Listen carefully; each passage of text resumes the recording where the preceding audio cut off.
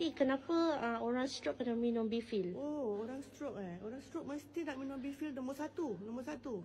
Nombor dua, pakai Alora Pens. Pasal apa? Pasal uh, orang kena stroke, dia punya dalam bifil tu ada uh, uh, apa nitric oxide. Dia akan mengeluarkan nitric oxide. Okay? Dia punya hormon nitric oxide tu akan melembutkan kita punya uh, saluran pembuluh darah kita. Jadi kalau kita punya saluran pembuluh darah kita uh, relax, jadi uh, si lemak tak boleh bertakung. Pasal orang kena stroke, pasal lemak dia banyak sangat, dia punya saluran nak darah tu dah kecil. Uh, sekarang kita nak kena kecilkan, nak kena kecilkan si lemak-lemak lemak tu. Jadi pembuluh darah tu masih uh, jadi lembut, dia punya darah tak boleh uh, apa uh, lemak tak boleh bertakung, jadi perjalanan darah akan lebih lancar. Hmm. Mesti nak pakai. Selain daripada syuruto, bukan syuruto, dia kasih sel baru.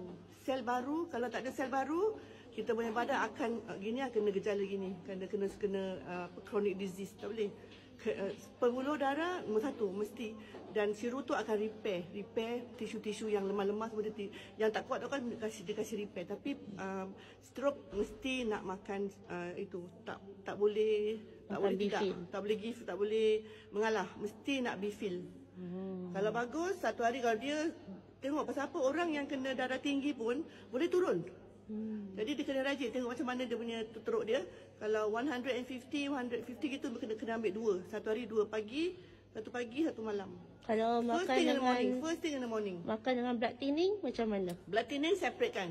One hour, one hour beza. Blood thinning, yes dia kasih turun tapi uh, blood thinning dia ada side effect. Ha, dengan ubat-ubat doktor semua ada side effect.